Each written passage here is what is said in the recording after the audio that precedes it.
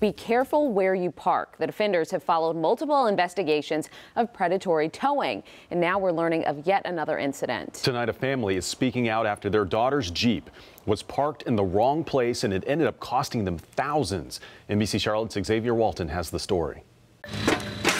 That's not what you want to hear or see. My heart dropped. When you're on a date. Just ask Sydney Moore, a freshman college student. Frustrating. Didn't make it to the concert. She admits her Jeep was parked in the wrong place at the wrong time. And turns out it was my car being towed. Her heart sunk. Sydney says she had to pay the tow truck driver $200 to get her car back.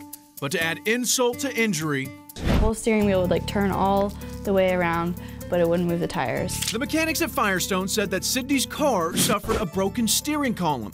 Parts and labor alone amounting to more than $1,000. You know, they were very belligerent and hostile. Sydney's dad is footing the bill, but isn't buying what Wheel Blockers, that's the towing company, is saying. The car was perfectly operational until the tow truck driver touched it.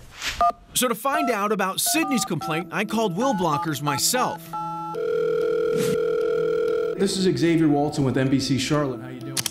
The man on the other end of the phone was very professional. I was calling about a recent complaint. He said people are always mad when their car's being towed or booted.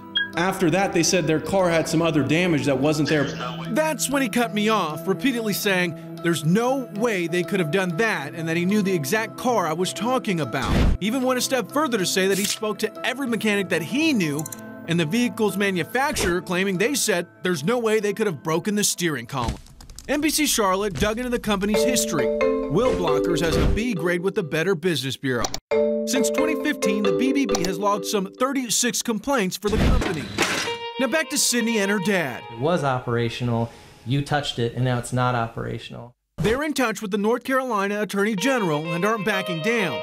As for wheel blockers, they're still denying those claims. That they aren't listening to complaints, they're not listening to concerns or claims of damage, they're just immediately denying.